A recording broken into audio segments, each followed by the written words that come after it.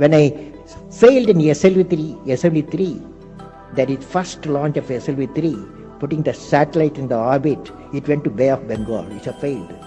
On that day, the Professor Satish Dhawan, he took a press conference, national, international press conference.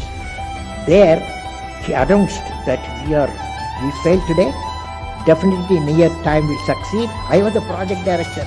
I am the mission director. He is take the responsibility of failure, chairman of the ISRO. Next time when succeeded, he asked me to you go and conduct a press conference.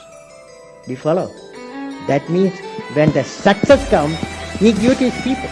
When the failure comes, the leader absorbs. This is the quality, including media it is needed. Everywhere it is